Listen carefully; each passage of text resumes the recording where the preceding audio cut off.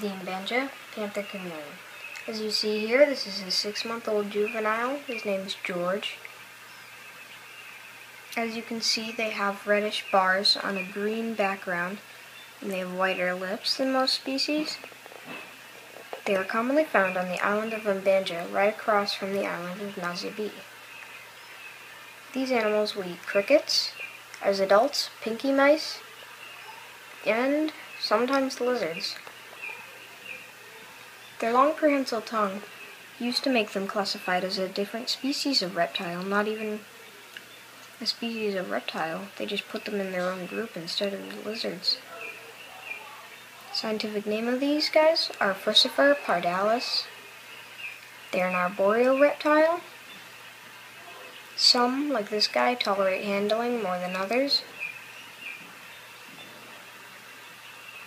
And as you can see, he's kind of relaxed.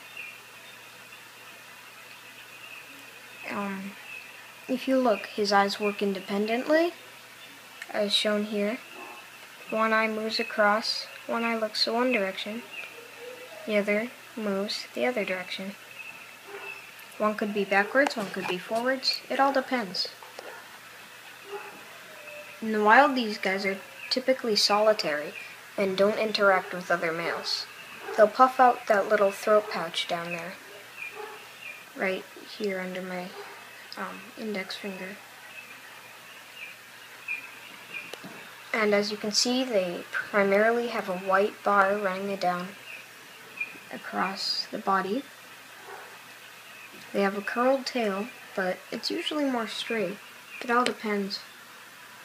And the color does not change to the background. As you can see here, he's not the same color as my skin.